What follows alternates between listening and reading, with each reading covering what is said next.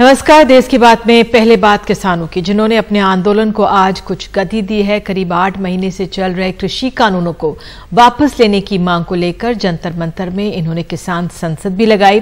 Police की निगरानी और दिल्ली सरकार के सहयोग के बाद करीब 200 किसानों को जंतर मंतर में इन्होंने प्रदर्शन किया है और प्रतिदिन, यानी हर रोज 200 किसान इसी तरह सिंगू बॉर्डर से किसान पहुँचेंगे और जंतर मंतर में अपना एक किसान संसद भी लगाएँगे।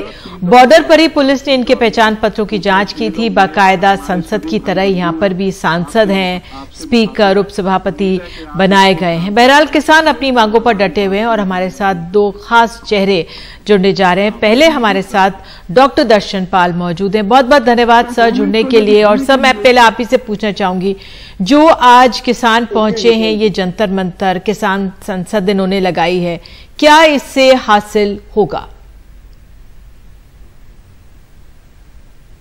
देखिए, ये हमारा आंदोलन का आठ महीने पूरे होने जा रहे हैं। इस आंदोलन के डिफरेंट फॉर्म्स हमने लिए हैं।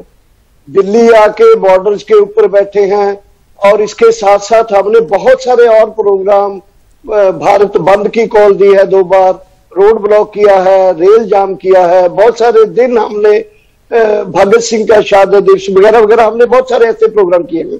अभी पार्लियामेंट जो है पार्लियामेंट का सेशन जो है मानसून सेशन चल रहा है।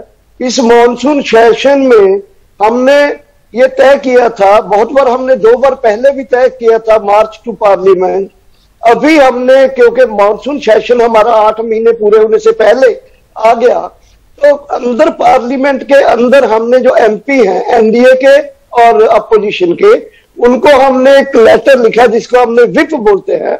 हमने विप जारी किया जिसको वोटर्स विप हमने कहा कि आपके वोटर्स भारत के लोग आपसे ये डिमांड करते हैं, जिसमें उनको कहा गया कि आप लोग पार्लियामेंट के अंदर हमारे किसानों की आवाज़ इस तरह से उठाइए कि जो रूलिंग पार्टी है, वो इन कानूनों को वापस करने के लिए मजबूर हो जाए और साथ ही एमएसपी की गारंटी और प्रोक्योरमेंट के लिए कानून बनाने के लिए वो मजबूर हो जाए। और बाहर हमने तय किया कि किसान जो है, बाहर अपना एक मोर्चा लेके जाएँगे। 200 किसान हमने लिमिटेड जानबूझ के किया था जो वहाँ डिसिप्लिन मेंटेन कर सके। एक सिस्टमेटिक चीज़ें हो सके बहुत अच्छे से सब्जेक्ट जो डिस्कस हो सके और उसको हमने एक पैरेलल किसान संसद का नाम दिया है जो बिल्कुल ये बहुत अच्छी सोच है जो आप कह रहे हैं कि एक पैरेलल किसान संसद का नाम लिया और एक तरह से इसमें पूरी रुचि एक बार फिर से बढ़ गई है।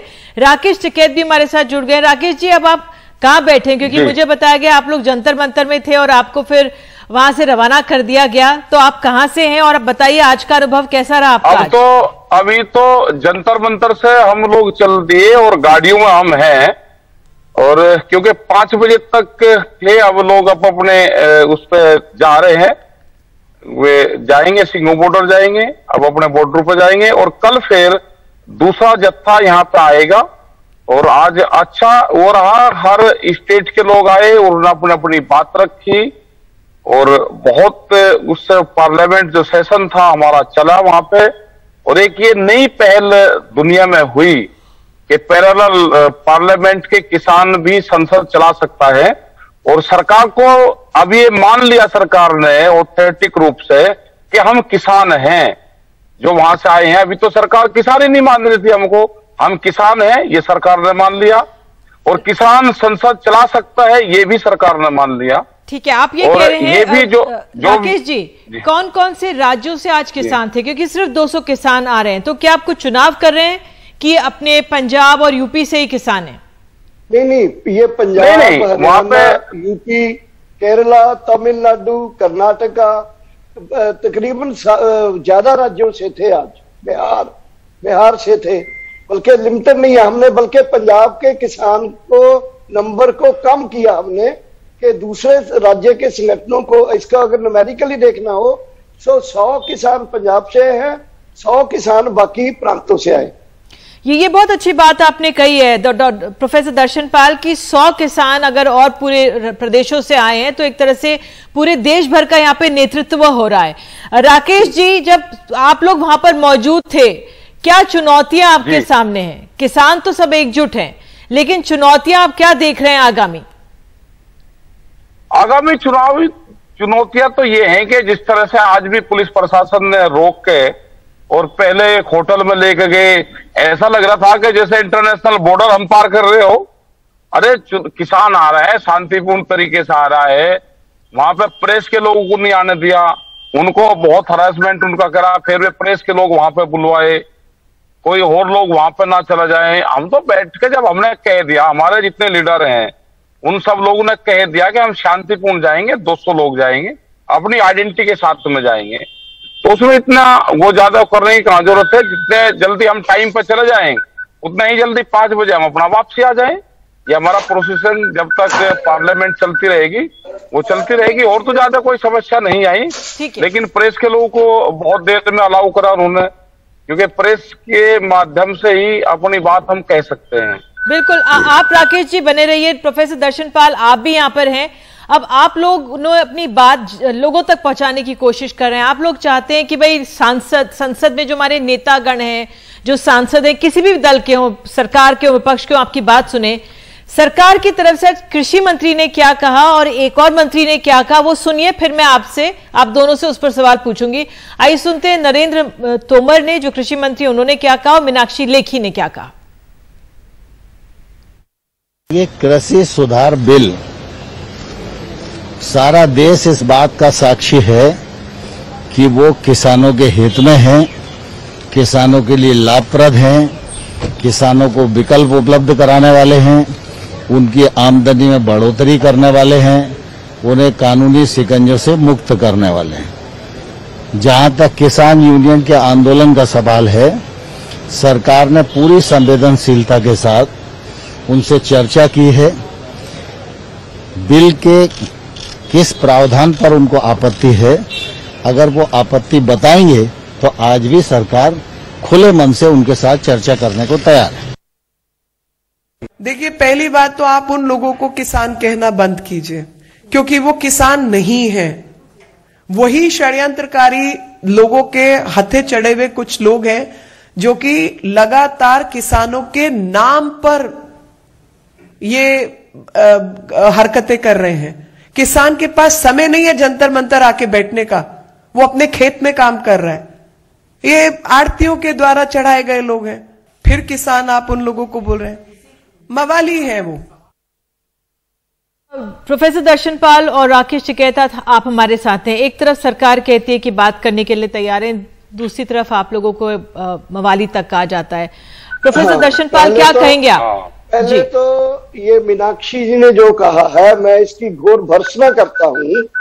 वो लोग जो मीनाक्षी जी से मैं पूछना चाहता हूँ कि जिन लोगों ने जिन लोगों की चाय बना के आप चीनी और दूध से और चाय पत्ती से पी के आए हो जिनके गेहूँ का ब्रेड और परोठा खा के आए हो लंच जिनकी सब्ज़ी और दाल के साथ आपने किया और दही जिनके दूध का पैदा किया होगा किया है उनको आप वाली बोलते हुए आपको बिल्कुल भी हिचकिचाहट नहीं हुई? आपको जो लोग, देश के पूरे लोगों को जिन्होंने अनाज के भंडार भर के पूरे हम जो लेके जाते थे पीएल 480 के तहत, उन्होंने देश के पूरे लोगों को अनाज के दे के भूख को खत्म किया।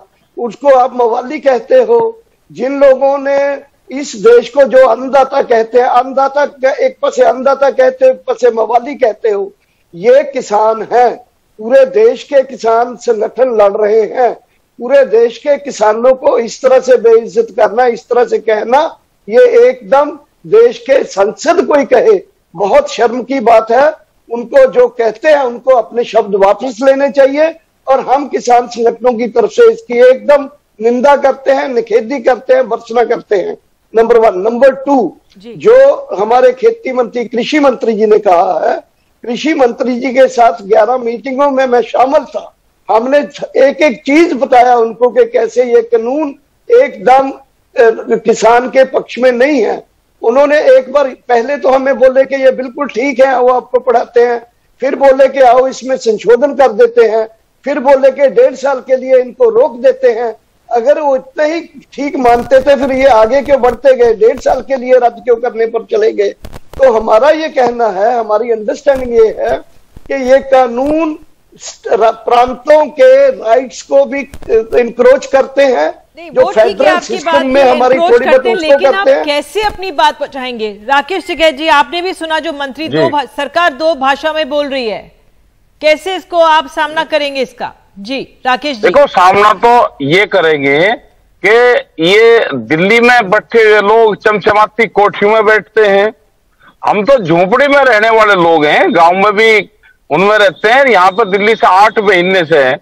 हम बाँस के और झोंपड़ियों के मकान में रहते हैं तो इनको तो मवाली दिखते हैं हम, क्योंकि ये तो शहरों में चमचमाती सड़कों पर रहते हैं, अच्छी कोठियों में रहते हैं तो इनको यही लगता है कि ये किसान नहीं हो सकते। ये मवाली है, यहाँ पाँच महीने से बैठे हुए हैं।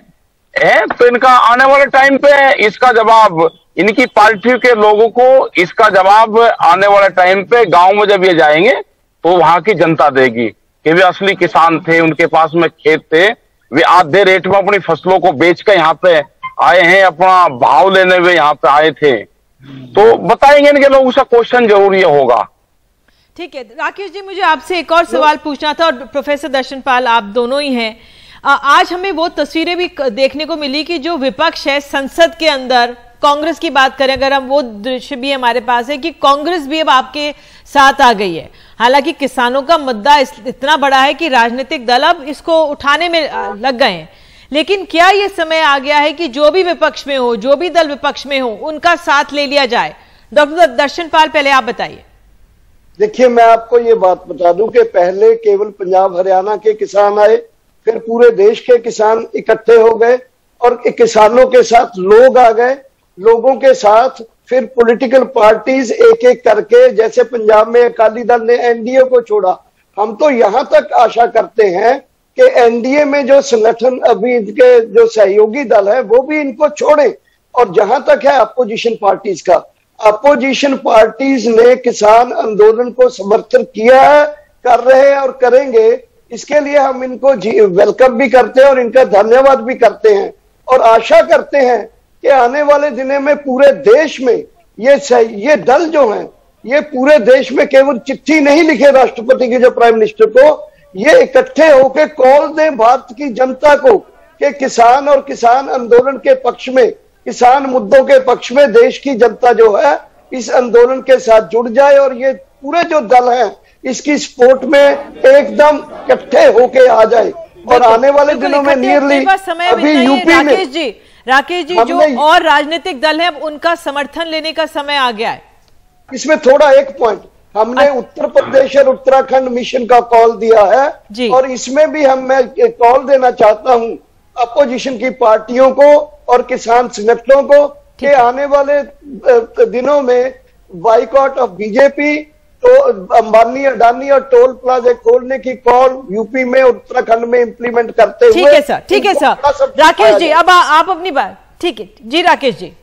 देखो जो पॉलिटिकल पार्टियाँ हैं जो भी पॉलिटिकल पार्टी इसका समर्थन करेगी जो भी मेंबर पार्लियामेंट हाउस में इन मुद्दों को उठाएगा उनका धन्यवाद भी करेंगे। और जो लोग नहीं उठाएँगे तो उसका विरोध भी होगा। वो चाहे सत्ता पक्ष का हो या वो विपक्ष का हो। पूर्ण रूप से संयुक्त मोर्चे का ये फैसला है कि पॉलिटिकल पार्टी इशू को हाउस के अंदर उठाएँ। ये मामला है और संयुक्त मोर्चे ने चिट्ठी उनको लिखी कि हाउस से आप बाहर नहीं आओगे। उनको व्हीप जारी करा है जनता ने पहली बार कि आप पार्लियामेंट में अपनी बात रखोगे। पार्लियामेंट को छोड़कर आप नहीं आओगे। और अपना पक्ष रखो, जनता ने जिस हिसाब से आपको चुनकर भेजा है, आप अपना पक्ष वहाँ पर रखिए। पहले क्या होता था कि पहले अपनी बात वो छोड़ के आ जाते थे, हाउस का वॉकआउट करते थे, लेकिन अब की बार जो सांसद है वो नहीं कर रहे हैं। तो सबको करना चाहिए और जो लोग किसान का विरोध करेगा उसका पूर्ण रूप से जनता विरोध करेगी। बिल्कुल राकेश जी आप जुड़े डॉक्टर प्रोफेसर दर्शनपाल आप दोनों जुड़े बहुत बहुत धन्यवाद। आगे भी आप लोगों से हम बातचीत करते रहेंगे और आज आगाज़ है एक तरह से नई जान फूकने की कोशिश हुई है किसान आंदोलन में। और अब किसान सिंगू बॉर्डर से पुलिस की निगरानी में हम देख सकते हैं किस तरह से जंतर मंतर में आ गए हैं और यहाँ पर अपनी किसान संसद लगा रहे हैं। तो एक छोटा सा ब्रेक हम ले रहे हैं समय। और आज की एक और महत्वपूर्ण खबर थी जिस तरह से भोपाल में और पाँच राज्यों में 35 जगहों पर अखबार दैनिक भास्कर और एक समाचार चैनल के दफ्तर पर छापे पड़े। उसको लेकर हम आपको जानकारी देंगे। बने रहिए एनडीटीवी इंडिया के साथ। हिंदी अखबार दैनिक भास्कर के दफ्तर पर आयकर विभाग का छापा, पाँच अलग अलग राज्यों के करीब 35 जगहों पर आज हुआ, जिनमें अखबार के प्रमोटर का भोपाल वाला घर भी शामिल बताया जा रहा है। छापा कथित टैक्स चोरी को लेकर किया गया, भोपाल, इंदौर, जयपुर, अहमदाबाद, मुंबई समेत कई शहरों में भास्कर के दफ्तर शामिल हैं। वहीं उत्तर प्रदेश में भारत समाचार के ऑफ़िस में भी आयकर का छापा चल रहा है। हुआ। यहाँ पर आयकर अधिकारियों की टीम उनके लखनऊ स्थित ऑफ़िस और संपादक के घर की तलाशी ली। सूत्रों का दावा किया है कि चैनल की ओर से टैक्स चोरी के पुख्ता सबूत के आधार पर ये छापे डाले गए हैं। कांग्रेस ने आरोप लगाया है कि जो दैनिक भास्कर ग्रुप पे छापा पड़ा है इनकम टैक्स का वो लोकतंत्र की आवाज़ दबाने की कोशिश है। देखिए जनरली हम लोग जितने प्रश्न हैं वो कैबिनेट के निर्णय पर ही रखते हैं। और ऐसे बहुत सारे अवसर आएँगे, पार्लियामेंट भी चल रही है, और वहाँ पर बाकी जगह भी आपके इन सारे प्रश्नों का उत्तर दिया जा सकता है। लेकिन मैं इतना ही कहूँगा, एजेंसीज अपना काम करती हैं।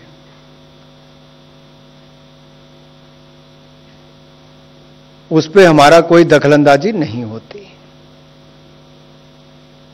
और दूसरा मैं इतना ही कहना चाहता हूँ, पूरी जानकारी ज़रूर लेनी चाहिए। कई बार जानकारी के अभाव में भी बहुत सारे विषय ऐसे आते हैं जो सच्चाई या सत्य से परे होते हैं। और आपको बता दें कि हमारे सहयोगी अनुराग द्वारी बता रहे हैं कि किस तरह से ये भोपाल में और राज्य भर में छापे पड़े हैं उनके बारे में। सच मध्य प्रदेश में अप्रैल में ऑक्सीजन की कमी से हुए पंद्रह हादसों में साठ लोगों की मौत केंद्र को शून्य बताई। दूसरी जो पेगेसिस से भी संबंधित है दूसरी जो पेगेसिस से संबंधित है, जिसमें साफ़ तौर पर लिखा है, जासूसी की दूसरी सूची में राहुल प्रशांत किशोर और पूर्व चुनाव आयुक्त लवासा। ऐसी कई खबरें हैं, खास करके कोरोना के मद्देनज़र, जिसमें जो भोपाल में दैनिक भास्कर का मुख्यालय है वहाँ पर फ़िलहाल इनकम टैक्स की रेड चल रही है और हमारे सूत्र बता रहे हैं कि 35 ठिकानों पर देश के पाँच राज्यों में, जिसमें महाराष्ट्र जिसमें गुजरात, जिसमें राजस्थान, जिसमें भोपाल में इंदौर और माफ़ कीजिएगा, मध्य प्रदेश में इंदौर और भोपाल। यहाँ पर इनकम टैक्स की रेट चल रही है। जैसे हमने बताया कि लगातार जो महामारी है इस दौरान दैनिक भास्कर की कई खबरें देश और दुनिया में सुर्खियों में रही है। हालाँकि जो टैक्स डिपार्टमेंट के सूत्र हैं, उनका कहना है कि उन्हें जो टिप ऑफ़ मिली थी, वो टैक्स चोरी की मिली थी और इसके मद्देनज़र ये रेट डाली जा रही है। उन्हें नहीं पता बाकी चीज़ों के बारे में। और जैसा हमें अभी सूत्रों से सिर्फ़ इतनी जानकारी मिल पाई है कि जो रिहायशी, जो दैनिक भास्कर ग्रुप के प्रमोटर हैं, उनके घरों में, दफ्तरों में जैसा पाँच राज्यों में लगभग पैंतीस ठिकानों पर इस तरह की छापेमारी इनकम टैक्स डिपार्टमेंट कर रहा है। भोपाल से कैमरा पर्सन रिजवान खान के साथ अनुराग द्वारी एनडीटीवी इंडिया। उधर उत्तर प्रदेश के लखनऊ में न्यूज़ चैनल भारत समाचार के दफ्तर पर इनकम टैक्स के छापे पड़े हैं। चैनल के प्रमुख संपादक ब्रजेश मिश्रा के घर पर भी रेड हुई। भारत समाचार के हाल की रिपोर्टिंग में योगी आदित्यनाथ सरकार के कामों को लेकर कई तरह के सवाल उठाए गए थे। छापा मारने पहुँचे इनकम टैक्स की टीम के साथ पुलिस वाले भी थे। और समाजवादी पार्टी के रामगोपाल यादव का क्या कहना है, ये भी सुनिए। कभी कभी ऐसा वक्त आता है पचहत्तर में भी आया था इस देश। जिसने सच कहा उसको या तो जेल जाना पड़ा। और मीडिया वालों ने कहा तो मीडिया वाले भी उनको परेशान होना पड़ा। तो वही है कि ये जैसे हमारा भारत समाचार है उत्तर प्रदेश उसने एक एक चीज़ सही दिखाई कोरोना को लेकर मौतें मौके पे जाके उनके लोगों ने दिखाई। गंगा जी में लाशें और तैर रही थी वो भी दिखाई। यहाँ तक कि सुप्रीम कोर्ट के एक माननीय जज को ये टिप्पणी करनी पड़ी कि किसी चैनल ने दिखाई है पता नहीं उनके खिलाफ मुकदमा कायम हुआ कि नहीं। एक सटायर था लेकिन आज मुकदमा तो नहीं लेकिन रेड हो गया। एक तो अभिव्यक्ति की स्वतंत्रता का पर पूरा कुठारा गा था आदमी डर जाए कोई बोल ही नहीं सके। और देश की बात में आगे है क्या सिद्धू की चिट्ठी काम कर गई है? पंजाब की राजनीति कर्नाटक की राजनीति पर गौर करेंगे। पंजाब कांग्रेस के नए अध्यक्ष बनाए गए नवजोत सिंह सिद्धू ने मुख्यमंत्री कैप्टन अमरिंदर सिंह को चिट्ठी लिखी है। इसमें सिद्धू ने कल राज्य कांग्रेस की नई टीम के पदभार ग्रहण करने के मौके पर आने और आशीर्वाद देने की गुजारिश की है। इसके अलावा बड़ी संख्या में विधायकों के दस्तखत वाली एक दूसरी चिट्ठी भी मुख्यमंत्री को भेजी गई है, जिसके बाद कहा जा रहा है कि कैप्टन समारोह में जाने के लिए उन्होंने फैसला किया है। और इसी पर अधिक जानकारी के लिए मनोरंजन भारती हमारे साथ मौजूद हैं। किस तरह से मनोरंजन कैप्टन को मनाया गया? क्या ये वहीं की चिट्ठियों का काम है या आलाकमान का फ़ोन है? जरा बताइए। देखिए, सबसे बड़ी बात है, जो चिट्ठी भेजी गई, उसमें छप्पन विधायकों के समर्थन है। इसका मतलब यह है कि 117 की विधानसभा में कांग्रेस के पास 77 विधायक है। 77 में से यदि छप्पन की चिट्ठी यदि जाती है कैप्टन साहब के पास तो उनके पास कोई चारा नहीं था। ये छप्पन विधायकों की जो तस्वीर भी हम दिखा रहे हैं और जो उन्होंने सिग्नेचर किए हैं, वो एक बड़े दबाव के रूप में काम में काम किया है। और यही वजह है कि कैप्टन साहब ने सुबह दस बजे इन सभी विधायकों जितने भी सांसद हैं और वरिष्ठ नेताओं को अपने यहाँ चाय पे बुलाया है। है और उसके बाद वो 11 बजे कांग्रेस दफ्तर जाएँगे जहाँ पे नवजोत सिंह सिद्धू की ताजपोशी होनी है। तो एक, एक तरह से आप कह सकते हैं फ़िलहाल युद्ध विराम हो गया है लेकिन कई जानकार मानते हैं कि जंग अभी जारी रहेगी वहाँ कांग्रेस बिल्कुल जो आप ये कह रहे हैं कि फ़िलहाल के लिए युद्ध विराम है इसका आगामी क्या असर? क्योंकि अब आगे चुनाव भी होने वाले हैं ऐसे आ, कैप्टन फ़िलहाल तो मानते हुए नज़र आ रहे हैं लेकिन कुछ तो असर होगा ही उनके गुस्से का। क्या? क्या आंकलन है अभी? जी हाँ प्रदेश अध्यक्ष के रूप में अब क्या करेंगे? सिद्धू जो है ढेर सारी नियुक्तियाँ करेंगे।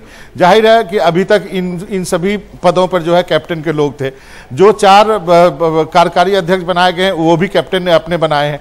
लेकिन सबसे बड़ी बात है कि प्रदेश अध्यक्ष ही पार्टी का सिंबल बांटता है। वहाँ पे जो है वो झगड़ा शुरू होगा कि किसको टिकट दिया जाए या नहीं दिया जाए। वहाँ पार्टी अध्यक्ष की चलेगी या कैप्टन जिनको कैप्टन जिनके कैप्टनशिप में ये चुनाव होगा, उनकी चलेगी। कहा जा रहा जितने लोगों से मेरी बातचीत हुई कि कैप्टन जो है चुनाव के नतीजे तक इंतज़ार करेंगे और तब ये देखा जाएगा कि कैप्टन दोबारा कैप्टन बनते हैं या कोई सिद्धू जो है वो पंजाब का नया कैप्टन बनता है तो तब तक आपको इंतज़ार करना पड़ेगा। इस जंग के लिए, लेकिन जंग तो चलती रहेगी, भले ही अभी युद्ध विराम आप इसको कह लें। बिल्कुल बहुत बहुत धन्यवाद इस जानकारी के लिए। तो पंजाब की राजनीति पे लगातार नज़र बनी रहेगी। उधर आइए, कर्नाटक का रुख करते हैं। कर्नाटक के मुख्यमंत्री बी एस येदुरप्पा ने बीजेपी आलाकमान की मुश्किलें बढ़ा दी हैं। 26 तारीख को प्रस्तावित विधायक दल की बैठक अब नहीं होगी, बल्कि येदुरप्पा ने इससे एक दिन पहले यानी 25 जुलाई को विधायकों की को रात पे खाने पे बुलाया। ये हम आपको कल की तस्वीरें दिखा रहे हैं। लेकिन आपको बता दें, ये मठ में जब गए थे तब की तस्वीरें। लेकिन अब जिस तरह से वहाँ पे स्थिति है, वो बदलने जा रही है। और ये बयान दिया है कि मैं पार्टी आला कमान के निर्देश का इंतज़ार कर रहा हूँ। जो मुझे शायद 25 तारीख को मिलेगा। उनका जो भी फैसला होगा मैं मानूँगा। दो महीने पहले भी मैंने यही कहा था और तब भी इस्तीफा देने को मैं तैयार था। तो महाराज कर्नाटक की राजनीति पर भी नज़र बनाए रखने की ज़रूरत है।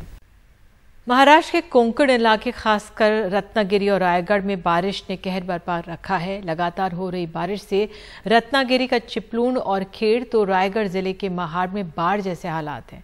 हालात इतने खराब हो गए हैं कि एनडीआरएफ के साथ कोस्ट गार्ड की भी मदद लेनी पड़ रही है। इगतपुरी में कसारी घाट पर चट्टान खिसकने और तेज बारिश से मध्य रेल की पटरी बह तक गई है। मुंबई से सटे कल्याण और भिवंडी को भी बारिश के पानी ने अपने आगोश में ले लिया है। रत्नागिरी का चिपलून शहर। लगातार हो रही बारिश से डूब गया। सड़कें नदियों में तब्दील हो गईं जो जहाँ था वहीं फंस गया। वशिष्ठी नदी ने पूरे शहर को अपने आगोश में ले लिया। वहाँ फंसे करीब पाँच हज़ार लोगों को सुरक्षित स्थान पर ले जाने के लिए एनडीआरएफ के साथ कोस्ट गार्ड की भी मदद लेनी पड़ी। निजी चार बोट कोस्ट गार्ड की एक बोट कस्टम की एक बोट और नगर पालिका के दो बोट मदद में लगे हैं। एनडीआरएफ के तेईस तेईस जनों के दो ग्रुप बनाए गए हैं जो चिपलून और खेड़ के लिए काम कर रहे हैं। फंसे हुए लोगों को सुरक्षित जगह लाने के लिए प्राधान्य दिया जाएगा। उनके खाने की व्यवस्था की गई है हम मुख्यमंत्री जी के संपर्क में हैं और ज़रूरत पड़ने पर हेलीकॉप्टर की व्यवस्था की जाएगी। हेलिकॉप्टर्सची जर गरज लागली लोकांना इकडनं सुरक्षित स्थळी नेण्यासाठी तर त्याची देखील व्यवस्था तयार करून ठेवण्यास सांगितलेली आहे. प्रशासन है लोकप्रतिनिधि है जनता है सब मिलके जितने भी लोग फंसे हुए हैं, उनको बाहर निकालने की प्राथमिकता जनता का जिसके जो अटके हुए लोग हैं, उनकी जान का बचाने की प्राथमिकता है। बाद में पूरी बाज़ार जो है, वो पानी के नीचे जाने के कारण बहुत नुकसान हो गया है, लेकिन वो दूसरे दिन पानी उतरने के बाद में देखा जाएगा। लेकिन मैं सबको आह्वान करता हूँ, चिंता ना करे, ना डरे, हम लोग परिस्थिति पे पूरी तरह ध्यान रख के बैठे हुए हैं। रत्नागिरी ज़िले के ही खेड़ में भी जगबुड़ी नदी खतरे के निशान से दो मीटर तक ऊपर पहुँच गई। तो महाड़ में सावित्री नदी भी खतरे के निशान से ऊपर बहकर सब कुछ डुबा रही है। खेड़ और महाड़ में भी एनडीआरएफ और कोस्ट गार्ड की मदद लेनी पड़ी। रत्नागिरी और रायगढ़ में पानी भरने से जहाँ मुंबई गोवा महामार्ग बंद हो गया तो इगतपुरी के कसारा घाट में भारी बारिश से कहीं चट्टाने खिसकी तो कहीं रेल पटरी बह गई। नतीजा मध्य रेलवे पर टिटवाला से इगतपुरी तक और अंबरनाथ से लोनावाला तक घंटों रेल यातायात बंद रहा। बोरघाट और कसारा घाट में जगह जगह पर बोल्डर गिरने के केसेस हुए थे लैंडस्लाइड हुई थी ट्रैक वॉश आउट के जगह जगह केसेस हुए थे, लेकिन इसके बाद भी हमारी टीम ने यह वॉर फुटिंग पर काम करके शुरुआती में जहाँ हमारी सीएसटी से अंबरनाथ तक सर्विसेज़ चल रही थी, वही हमने अंबरनाथ और बदलापुर के बीच में सुबह साढ़े दस बजे ट्रैक फिट किया और हमारी सर्विसेज़ सीएसएमटी से बदलापुर तक शुरू कर दी। मुंबई से सटे कल्याण, भिवंडी, बदलापुर और आसपास के इलाकों में तेज बारिश ने सब कुछ डुबा दिया। मुख्यमंत्री उद्धव ठाकरे ने अधिकारियों के साथ बैठक कर स्थिति की जानकारी ली और राहत कार्य में तेज़ी लाने का आदेश दिया है। मुंबई से सटे आसपास के इलाकों में भारी बारिश जहाँ वहाँ के लोगों के लिए मुसीबत का सबब बन गई है, वहीं मुंबई के लिए राहत बनकर आई है, क्योंकि मुंबई को पीने का पानी देने वाली झीलें तेज़ी से भर रही हैं। बीएमसी के मुताबिक सात में से चार तालाब भर कर बहने लगे हैं। रत्नागिरी से दिलीप मुजावर, कल्याण से सुदेश और मुंबई से cameraman Praveen Rohit Sunil Singh, NTV India के लिए।